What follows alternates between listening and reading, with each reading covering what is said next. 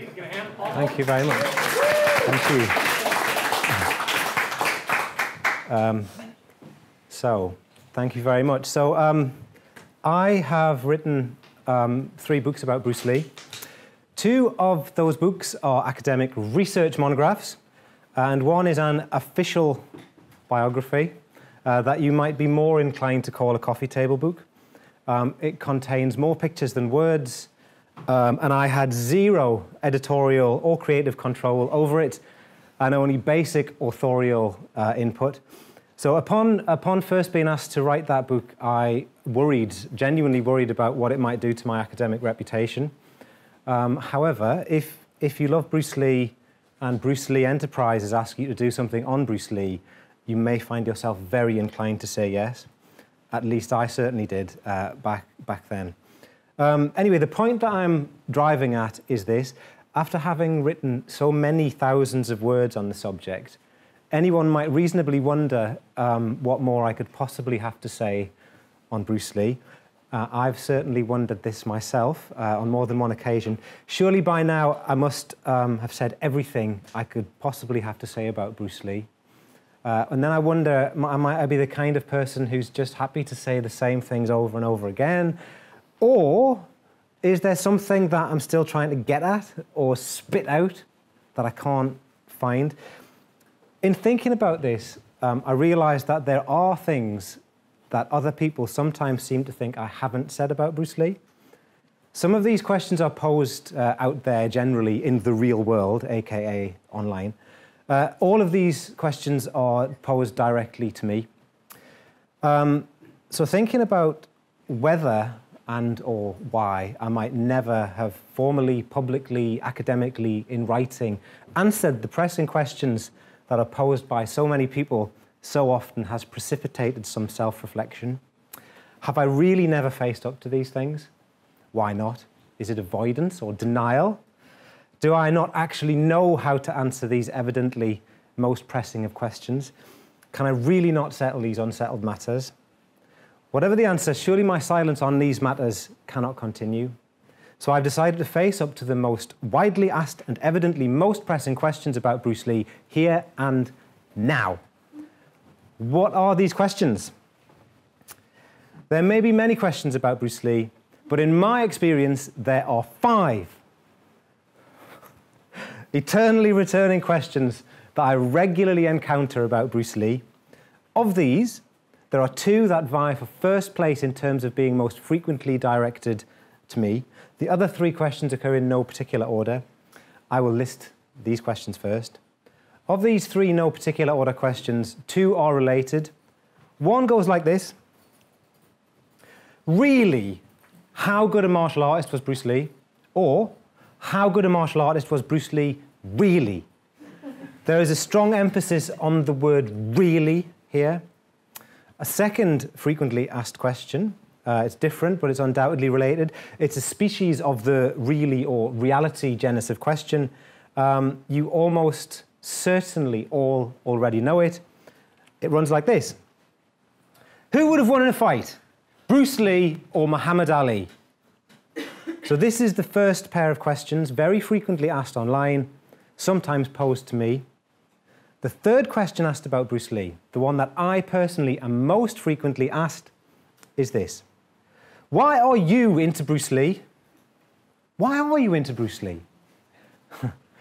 Now, although I'm sure I've, I've answered this uh, in many different ways, both in writing and on camera, I should point out that the question of why I'm into Bruce Lee is one that normally comes from people who have only recently met me, and certainly people who haven't seen or read anything I've written or appeared in. Nonetheless, I will still try to answer this pressing question here.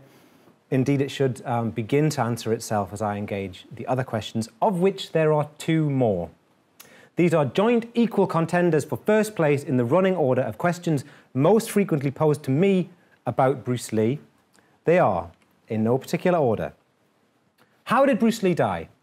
And which one is Bruce Lee again? Am I thinking of Bruce Lee or Jackie Chan? Surprisingly, both of these questions can be asked by the same person, often in quick succession. Everyone wants to know how he died, Even people who start from uncertainty about which one Bruce Lee is and who need to disambiguate him from Jackie Chan often quickly go on to ask about his death. Admittedly, this second question is undoubtedly uh, often suggested by my answer to the question of which one Bruce Lee is. As I can hear myself having said to many people, Jackie Chan, where's Luke? Sorry, Luke. Jackie Chan does the slapstick stuff and was in the 2010 remake of The Karate Kid. Bruce Lee did Enter the Dragon and died in 1973, and so on. Silently, and in my own head, I'm also saying, Bruce Lee is the awesome one who changed the world by launching uncountable thousands and millions of martial arts activities, obsessions, fantasies, and careers around the world with his inspirational fight choreography. This is where my apology is relevant. Jackie Chan is the one who slapstick, slapstick chop socky essentially sent out the message that martial arts are to be laughed at. You can, you can beat me up later, right? Oh, you. Already then, I've started to answer the question of why I'm into Bruce Lee and not Jackie Chan. Or less so, or differently. I am into Jackie Chan a bit, but it's very different order of interest. The point is, maybe the, my answer to the question of who, in which I've often mentioned that he died in 1973, is the very thing that leads people to ask the question of how he died. Um, I don't think this is always the case, but at least sometimes it might be because even when people aren't sure which one Bruce Lee is or was, the one thing they do seem to know is that someone called Bruce Lee died prematurely. But maybe there's no objectivity to my sense that this is a frequently asked question, or that it necessarily follows the question of who or which one Bruce Lee actually is or was.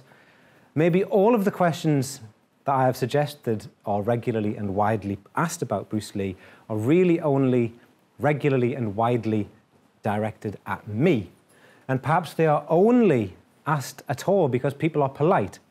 And because I, whether consciously or unconsciously, intentionally or unintentionally, so frequently manage to bring conversations around to Bruce Lee. So maybe my sense of eternally recurring questions is a misapprehension. Maybe rather than uh, on objectivity uh, or even on an objectively existing independent object, such as Bruce Lee, our focus should always remain acutely aware of how objectivity and subjectivity conjure each other up, produce each other as senses, interact and become implicated in each other, or even just on how social interactions and polite conversations and contexts work. For academics, however, any kind of speculation about objectivity can open out onto methodological matters, raising problems that range from the premises to the limitations or parameters of this or that approach, all the way through to reflections on the very possibility or impossibility of definitively establishing anything about anything.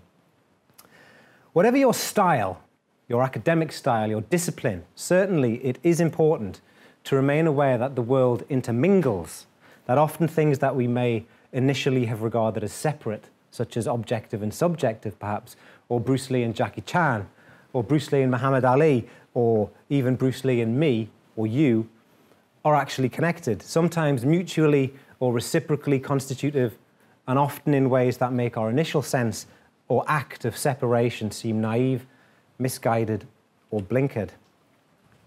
But if people and things really can, as Bruce Lee said, be water, or at least like water, then we should also remember that, as well as seeming pure, water cannot but become contaminated, cannot but infuse and become infused by and with the things it touches.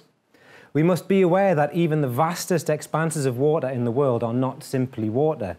Rather, as I once heard a scientist say, seawater is not water. Seawater is a dilute solution of everything in the world.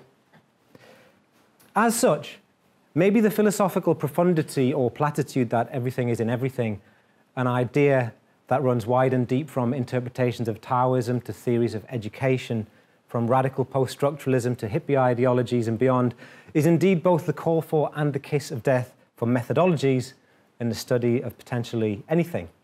But, deconstructive as I am, let's not get too carried away or contaminated by our ocean size or wishy washy, watery metaphor. After all, it was only a minor reflection on the co implication and cross contamination of objectivity and subjectivity that precipitated this. So let's simply entertain a couple of questions. Either there are widely arising widely interesting, and widely posed and reposed questions about Bruce Lee, or there are not. If there are widely posed questions, such, as que such questions can nonetheless arise and seem to be burning issues only within certain contexts. We might contextualize such a context as field, habitus, symbolic order, or subculture, and so on, or even just as moves, moments, or speech acts in conversations. Surely it can only be within a context, whether stable or fleeting, that any question about Bruce Lee might seem widely posed, or interesting, or important. For everyone else, everywhere else, either the tide of interest in Bruce Lee might have gone out, or such a tide might never have reached them.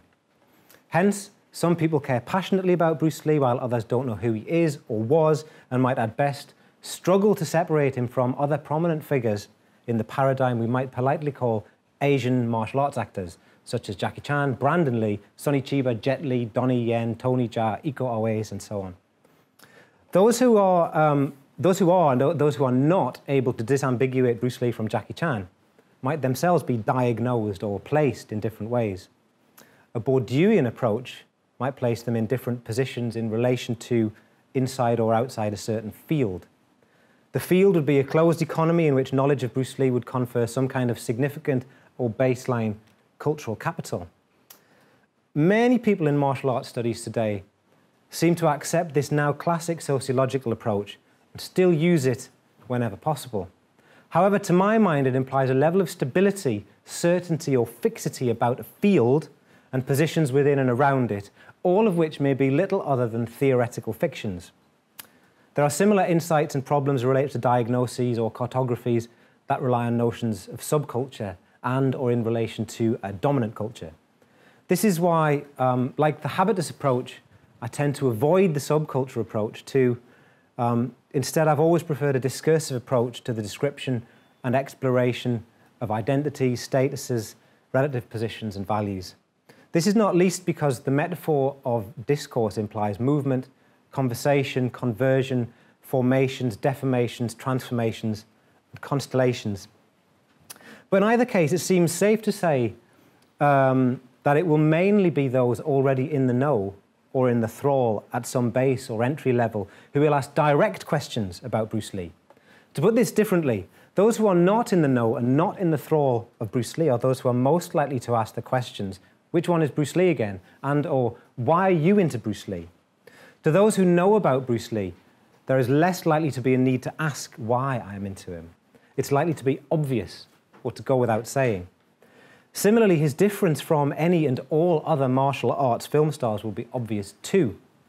It's this constituency who are more likely to worry about whether Bruce Lee was really any good, who he could really have beaten in a fight, and why he died at the young age he did. Nonetheless, by far the greatest number of people in the world would be those um, who would have difficulty disambiguating Bruce Lee from other Asian martial arts stars. As Davis Miller points out in his millennial Bruce Lee biography come autobiography, relatively few people in the world today have actually seen a Bruce Lee film, and this was mentioned by someone this morning. Um, somewhat perversely, therefore, um, this suggests rather surprisingly that in face to face conversation with me, far more people in the world would be likely to ask me who Bruce Lee is and why I'm into him. This means that in a real situation, in the real world, a situational question about me might be objectively more likely to occur than a direct question about the incontrovertibly, massively more well known global icon Bruce Lee. This paradoxical situation exists even though, were virtually anyone in the world to be asked a question about me, the statistically certain response would be who? Yet this is how contexts work in the real world, on the ground, in reality. This is no doubt part of the reason why notions of virtuality, planes of immanence, and even ideas from quantum theory have long been so uh, appealing and stimulating to cultural theorists and philosophers. One thing can only happen if another thing happens. One thing can appear to be bigger than another, or more forceful, or more present, even though it isn't, like me compared to Bruce Lee, or Bruce Lee compared to Muhammad Ali. Our experience of the world is radically perspectival, objectively subjective, subjectively objective, as is the behavior of the world. And this is why my response to all or most questions about Bruce Lee often have a vaguely quantum or quadratic plus and or minus feel to them, like a subatomic particle in trying to measure the actual position or velocity of Bruce Lee, something about him moves. If I put Bruce Lee in a theoretical box, with or without Schrodinger's cat, whenever I may or may not open it, he may or may not be what he once was. So when it comes to a question like, really, how good a martial artist was Bruce Lee, or how good a martial artist was Bruce Lee really? Although I can say that there has never been a time that I believed he was not very good, as Lee himself observed in that famous interview, if, if he were to say that he was no good, we would know he was lying. I can and do nonetheless vacillate from thinking he was exceptional to thinking on screen he appears exceptional to thinking very little is actually known for certain about his relatively few reported fights, so it's unverifiable, to thinking not only did he, like any sensible grown up, evidently avoid real fights, some testimonials claim that he also appeared to develop a principled refusal to test or demonstrate his fighting skills in any free, open, or indeed fair format. His evident predilection for showing off seems equally matched by a certain refusal to demonstrate freely, a refusal to be put to the test other than in his own terms. This can doubtless be taken numerous ways. Davis Miller reports that the martial artist Joe Lewis claimed he was once set up to lose by Bruce Lee, just so Lee could practice what came to be the famous sequence uh, he uses in his fight against Bob Walls O'Hara in Enter the Dragon. According to Lewis, Lee asked him to throw a certain three punch combination at him. Lewis obliged, and Lee blocked. Lee asked him to do it again. Same thing. And again. On the third iteration, Lee not only blocked, but countered full force with the back fist combination that later came to be immortalized on screen. Lewis evidently became somewhat bitter about this because, as he reported to Miller afterwards, many of the people who witnessed the exchange went around saying that they had seen Bruce Lee beat up world champ Joe Lewis. However, according to Lewis, Bruce Lee never sparred freely with anyone apart from some who would, in Lewis's words, suck up to him. According to Lewis, when it came to fighting or even sparring, it was never that open with Bruce, never entirely honest or straightforward. But why would a great fighter or great martial artist conceal his fighting or her fighting or martial arts abilities? There are as many possible answers to this question as there are to its inverse. The question of why a terrible fighter or absolute non martial artist would like to suggest that they are, in actual fact, really, deep down, secretly, a great fighter or great martial artist. This has to do with the manipulation of appearances, the power of suggestion or indeed seduction, or what Baudrillard called the lure, to put out and or call back ideas of being super tough or super skilled in these waters is to manipulate, conjure, play with, trade in, or manipulate fear, fantasy, and desire, one's own and one's others. Before Baudrillard, Guy Debord proposed that in the society of the spectacle, both being and having would eventually lose out to appearing.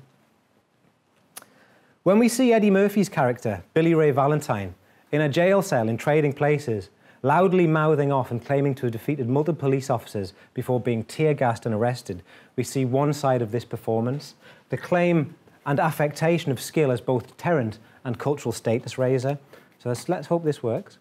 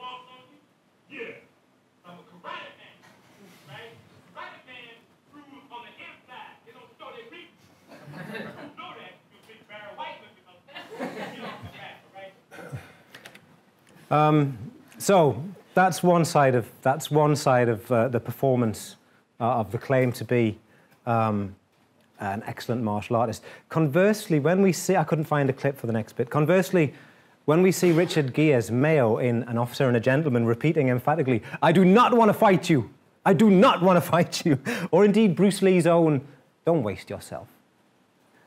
Um, in Enter the Dragon, we see the other side, the apparent attempt to de escalate that nonetheless strongly implies superior ability. Some of, us will, some of us will recall that kid at school who was eyed with caution because they were merely said to be, or said of themselves that they were, a black belt in this or that exotic sounding art. Some of us will also know or have known a supposed martial arts master who taught or teaches many classes and even many styles, but who never spars, even privately, with their own students. All such characters inhabit realms of uncertainty, unverifiability, or unverifiedness. All conjure with fear and desire as deterrence and attraction. How we judge this kind of thing depends on how or whether we interpret the artistry component that sits quietly in the term martial arts. We tend to think that we want our martial arts and martial artists principally to be martial, even though reali- realistically, most likely we really don't. Martial refers to military warfare, and all such matters are murderous, monstrous, machinic, morbid, and other words beginning with M. Indeed, when we evoke martial arts, we tend not to be thinking of war, but rather of combat and conflict that is interpersonal, one to one, stand up, face to face, civilian, and non lethal. This is not very martial at all, really. So, uh, this is so much so that when it comes to martial arts as we think of them today, surely it has to be said that the artistry is the thing. Even when that artistry is self styled as supposedly having no style or no artistry, only efficiency, there is always artistry, even in its disavowal. Furthermore, and more pertinent uh, for the many martial artists who like to read select bits of Bruce Lee's filmic martial artistry as providing literal or allegorical lessons, didn't Bruce Lee famously state that he supposed you'd call the style that he practiced the art of fighting without fighting? Why do we not believe these words and this sequence of Enter the Dragon, even though so many of us are so prepared to regard so many other bits of Lee's screen performances as lessons? The parameters of an art of fighting without fighting could easily range from tricking a bully off the boat to any kind of deception, pose, distraction, simulation, manipulation, and pretense. Of course, like everything else that Lee reputedly said, or may or may have not been the author of, it's unclear whether he could be said to have meant these words, seriously, directly, or literally. There's evidence that Lee seems to have meant, or at least really enjoyed, all the be water stuff, but did he actually mean the fighting without fighting stuff, or believe it, really? After all, the person who said it was really only the film's character, Mr. Lee, not the real Bruce Lee. Yet Bruce Lee, as, his, as he himself, his family, friends, estate, aficionados, and heirs all keep claiming, would continually strive to honestly express his real and true philosophies and ideas in his films and TV roles. From the lecture about the way of the intercepting fist in Longstreet to the lesson allegedly encoded in the fight with Chuck Norris's Colt in Way of the Dragon, all the way to the speech about the ultimate tech being to have no technique and the don't think, feel lesson with Lau Bruce Lee on screen is often read as if his words and performances constitute some kind of documentary, some kind of Bible, or some kind of manual. Clearly, however, like the Bible, Bruce Lee is often, perhaps necessarily, read selectively and without a rationale for that selectivity.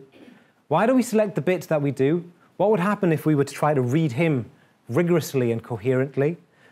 If we all sat down and tried to read Bruce Lee as if from or for one consistent or coherent position while trying to handle and incorporate all of the many different and contradictory bits that we have all at once to try to build one complete image, I think that we would not only struggle, but also all produce very different images, figures, characters, values, and interpretations. This is because the idea of the one, the totally knowable and accessible to totality, is a fiction. This is why I prefer instead to regard the inevitability of selectivity and incompleteness as a kind of necessary and inevitable principle. We have to accept that we only ever pick out and pick up bits and pieces of culture, or of a text or practice, even if we think we have the whole thing. There will always be different senses of the whole, dependent on which bits and pieces are picked out and picked up in which kinds of ways for what kinds of reasons. We combine different bits and pieces paratactically in different configurations, and what we pick up or pick out inevitably both reveals and conceals. Of course, this still doesn't answer the question of how good a martial artist or fighter Bruce Lee actually was. And we live in an era where straight talking is allegedly of the highest value. So, what do I say? I want to say ingenious, that Bruce Lee was an ingenious martial artist. I think that this is all the more so given that he is gone um, and everything remains uncertain, yet his shadow or wake still stretches or flows far and wide and influentially. As if in frustration comes the question okay, then, who would have won in a fight? Bruce Lee or Muhammad Ali? This question snatches out and grabs an apparently valid and realistic contrast or comparison. Muhammad Ali, who was alive and more or less in his prime in and around the time of the fame, i.e., the, the immediate posthumous fame of Bruce Lee. Ali was, of course, also another, so to speak, ethnic celebrity in an era of the scarcity of non white public figures. So the choice of comparison may be ethnically overdetermined. Certainly, no one has ever asked me who would have won in a fight, Bruce Lee or Henry Cooper. But who else from that era does everybody know who seems to have a recognised claim on being the greatest? So, who would have won in a fight between Lee and Ali? Surely it's a simple question. Surely it can be answered. Certainly, we can easily isolate and enumerate elements for comparison and play a game of fantasy fighting league top trumps. Ali was massive and could have punched Lee's head clean off his shoulders. Yes, but Bruce Lee was as fast as lightning and could snatch Ali's eyes out of their sockets while kicking a cat out of a tree, and so on. Crucially, in this theoretical physics, we come to the fact that Ali was a world champion heavyweight boxer with an enduring international career, while Lee was as light as a feather and had not fought competitively since one tournament in high school. Consequently, I want to say that it's obvious who would have won.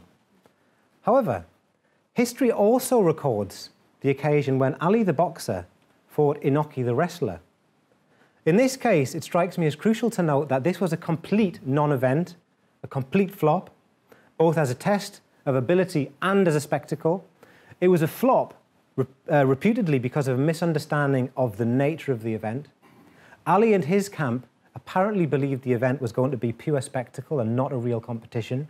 Inoki and, Inoki and his camp believed it was going to be an all out fight to the knockout or submission, with each fighter using his own or the other's discipline, a kind of UFC avant la lettre. The situation as it transpired involved Ali's camp arriving for the fight and asking when the rehearsal would be. When the penny dropped that everyone else believed that this was meant to be a real contest, all kinds of last minute rule changes were brought in, ostensibly to ensure that the most valuable commodity, Ali, was protected from possible damage. The rules imposed on the fight resulted in the embarrassing spectacle of Inoki having to try to throw kicks while lying on his back, as this was all that the rules really allowed in terms of kicks.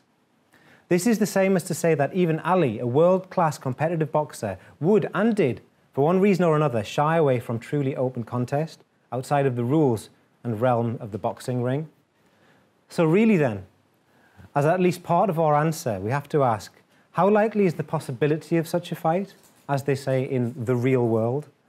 If reality is really what concerns us, then we really must remain aware that there are considerably more complex factors to consider than decontextualized and effectively abstract matters of physical size, speed, reach, style, and skill. The very possibility of such a fight, not to mention the fantasy structure of the romantic notion of a real and true fair fight per se, plus myriad other considerations, must all be weighed and measured in what remains our irreducibly fantasy fighting league. To disagree with this kind of thing is actually to move ever, ever further from the real world that is nonetheless being fantasized and fetishized. At the very least, given the strength of what we might call the forces or impulses of concealment and forces uh, relating to preserving or enhancing commercial, physical, pedagogical, and other performative capital, asking who would have won seems a little like asking which pole of a magnet would have won if we had pushed two equal yet opposite poles together when each of the poles operated in different realms and had different careers and reputations to maintain. Perhaps this force of concealment, this game of suggestion, coquetry, peekaboo, or fort da, also goes some way to answering the eternally returning question of why I am into Bruce Lee. Certainly, the sense of always holding something back, of there always being apparently more in reserve, has always been appealing to me. But is this why I'm into Bruce Lee? Because he was always and remains to some crucial degree unknown, and now because he died so young, unknowable? Um, at this point, I have cut a long digressive anecdote about me and Bruce Lee and undecidability and psychoanalysis. Uh, I've cut it for two reasons. Because, uh, first, to skip the working out, the short answer is basically yes. I think so, at least a bit. And second, because the appeal of Lee is often held to have a lot to do with the supposed million dollar question of how he died. Um, I certainly dispute the thesis that his untimely death somehow caused his appeal. It certainly created an openness that allowed for ever more imaginary identity work, but it does not in any way explain his attractiveness. Nonetheless, his death is supposed to be the unsettled matter, um, of course. It's, it's supposed to involve mystery or conspiracy, even, there are really, even though there are really only a couple of credible possibilities, and both boil down to much the same thing.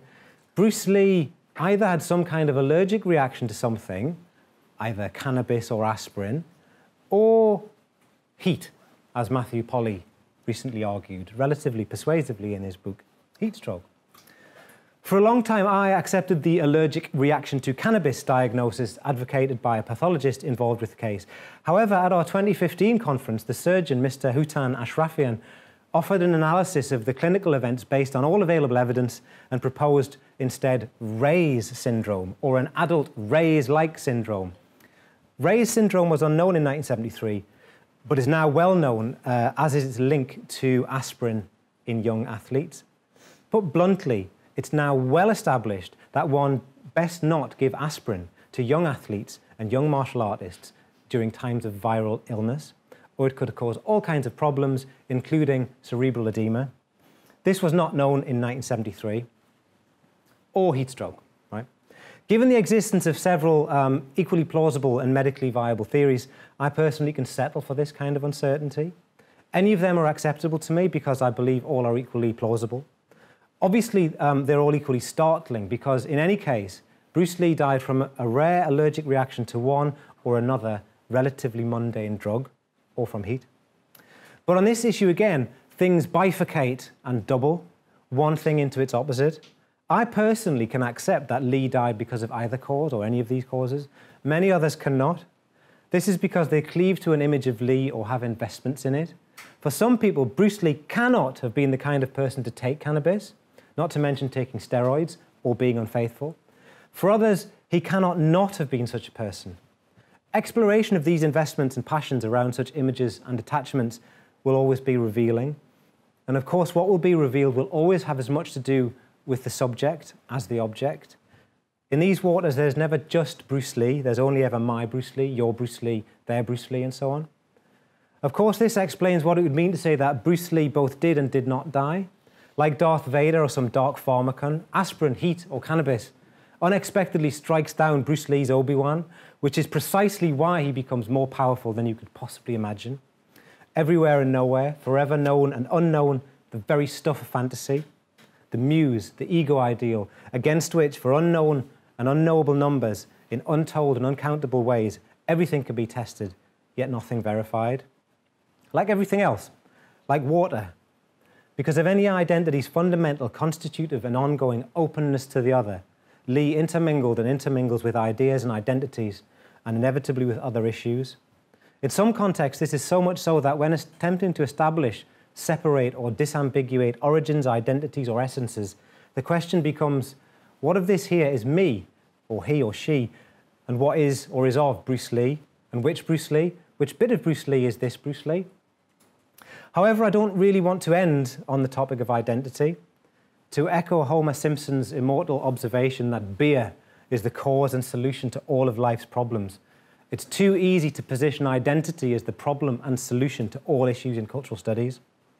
Instead, I want to conclude by returning to the supposedly subjective or relative matter of identity, um, but rather to the supposedly objective matter of reality.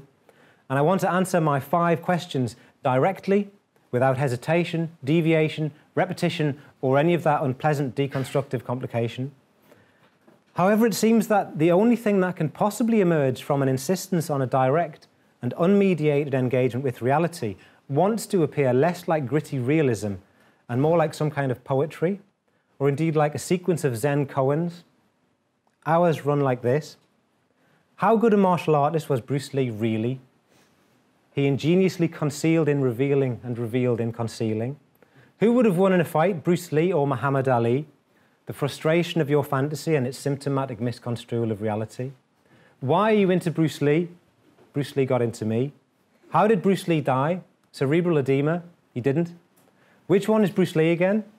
Precisely. Am I thinking of Bruce Lee or Jackie Chan?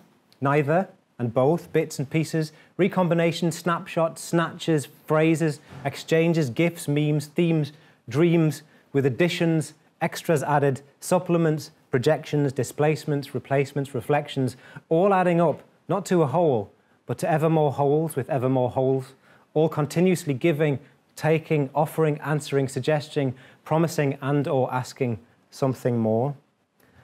But one final question. Is this really, ev- this is for me really, is this really everything you ever wanted to know about Bruce Lee? Sometimes all of this seems to be more about me, but doesn't that seem to at least reflect part of everything you ever wanted to know?